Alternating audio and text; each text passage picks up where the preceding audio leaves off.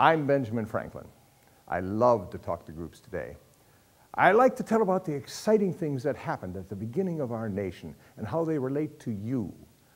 I talk about my friends, George Washington, Thomas Jefferson, John Adams, and what you can learn from our different styles, sharing the energizing stories and techniques that are still valid today.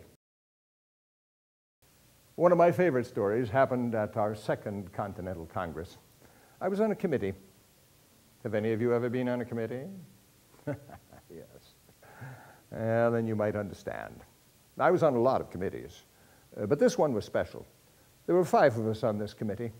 We were supposed to write down the reasons we were unhappy with that king over there in England, you, you know, King George, uh, why we deserved to seek our independence, a declaration of independence. And someone had to write the document. John Adams from Massachusetts was on that committee. If you know anything about Mr. Adams, you probably realize he wanted to write the document. I said, You can't write this, Mr. Adams. He said, Why not, Mr. Franklin?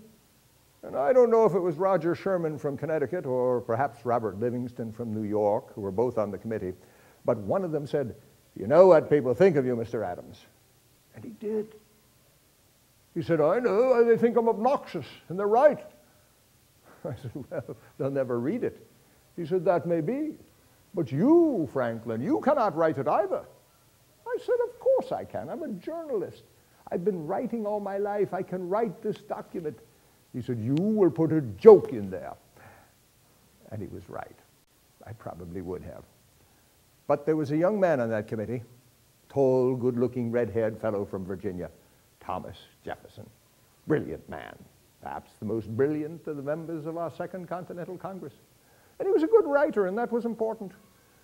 And he was from the South. That was more important. We needed the support of the South. He was the only Southerner on the committee. But I think the most important thing of all was the fact that he was young. he didn't know any better. So we gave him the job, and he wrote that declaration. And then we changed it. And we changed it. And we changed it and changed it and changed it and changed it. Finally, Mr. Jefferson was upset. He seemed to think it wasn't his anymore. But it couldn't be his. It had to belong to every one of us. Changes, my friends, were necessary if for no other reason than to make each one of us a part of that document, so that when we pledged our lives, our fortunes, our sacred honor in signing that declaration, it was a promise to you. A promise that there would be a free and independent nation for you, your children, your grandchildren to live in. Yes, we live in a never-changing world. But when it comes to change, we only have two choices. We are either going to embrace the change and become part of making it work, or we are going to sit by and watch it happen. I want you to accept the challenge of change. The key to a successful meeting is an atmosphere of excitement and anticipation.